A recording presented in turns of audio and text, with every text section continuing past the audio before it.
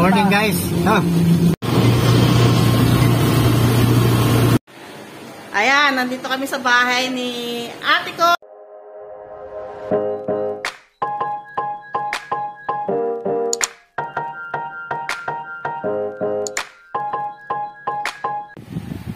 Good morning guys. Ito, kararating lang namin.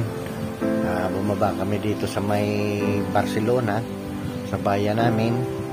Uh, nakakasakop ng barangay namin itong pinakabayan, Barcelona, Rosgo. Kaya magpapapicture muna kaming mag-asawa. At bukas ng umaga, pagising namin, pagka-almusal, pupuntahan namin yung dati naming kapitbahay. Si Kuya Puti at si Ate Cora. So, kumustahin natin. Kaya samahan nyo kami guys bukas. For the meantime, magpapahinga muna kami para makabawi ng lakas.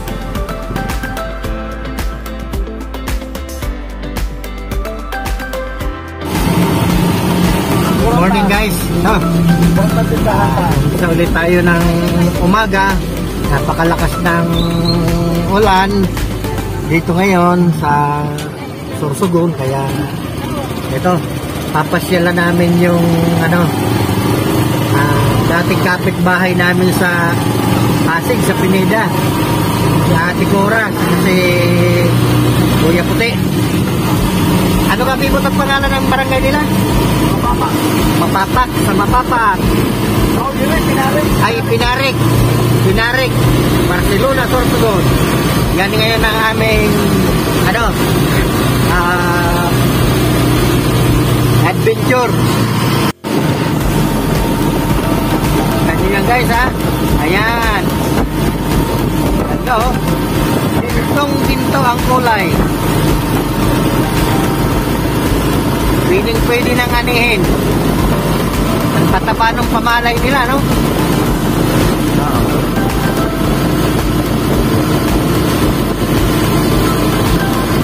Kami ng Pinare.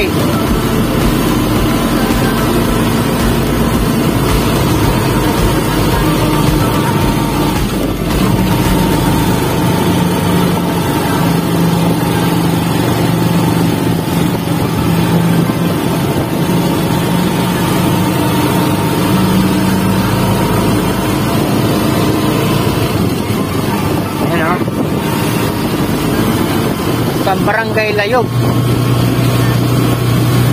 Barangay Layog.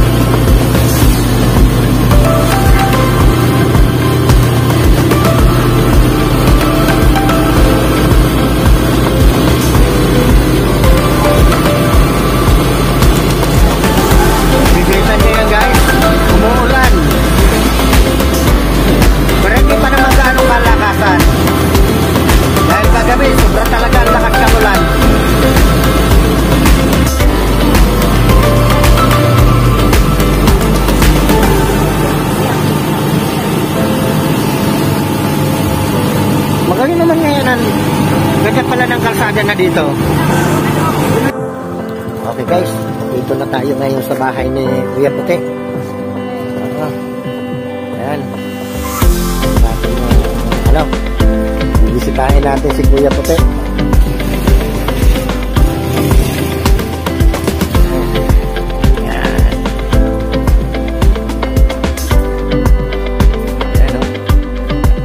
Kuya Buddy oh. Kuya Buddy, kasama ka sa vlog ko ha. Oh. Oo, vlog yan. Kasama ka na sa ano ha. Kuya Buddy, subscribe mo ako ha. Ah, Nat. Bati ka, bati. oh, bati Kuya Puti. Hello. Oh, yan. Kasama ka na. Ito yung ano.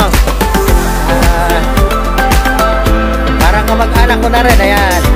Kuya, si Ate Cora. Kuya Buddy, Tito Rox. Saka si Manoy. Kuya Boy. Wapo pa maghapon. Ayan. Ayan.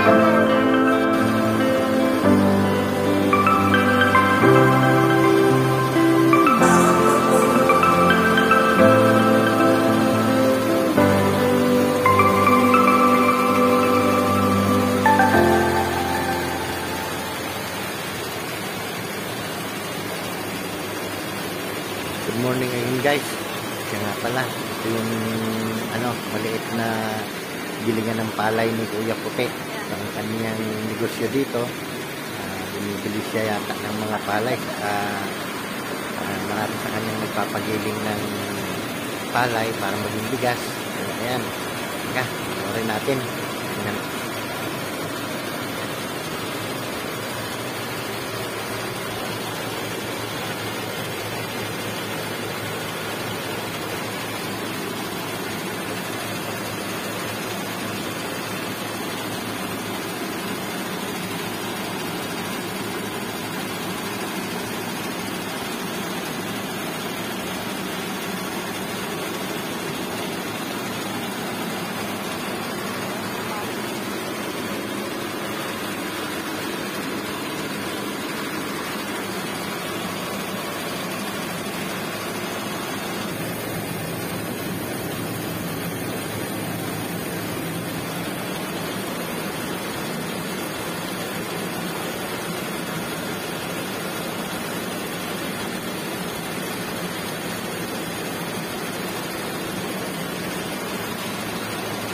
Natin.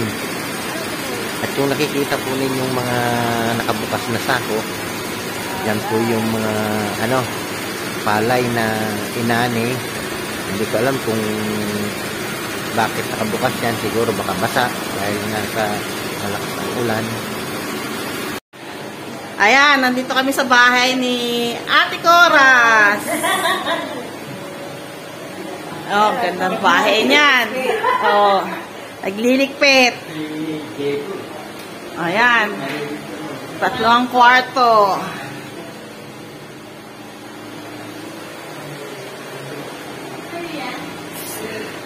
Si Sally, ang munting prinsipe. Prinsesa na pala. Ayan. Okay. Yan guys, nakauwi na kami. Galing kila Kuya Puti.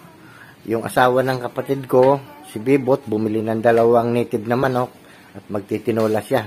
Ayan, nakikita nyo. Nililinis niya na ang dalawang native na manok.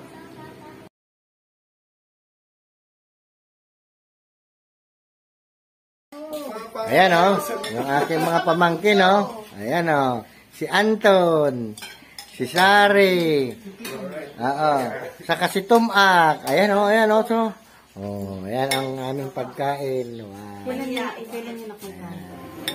Yan ang tinulang manok. Kaya naman tayo.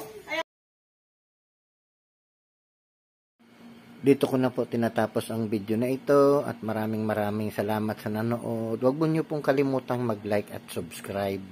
Huwag niyo pong ipagkait yung inyong like at subscribe. Maraming maraming salamat sa inyo. God bless. Grabe, ang dilim na naman.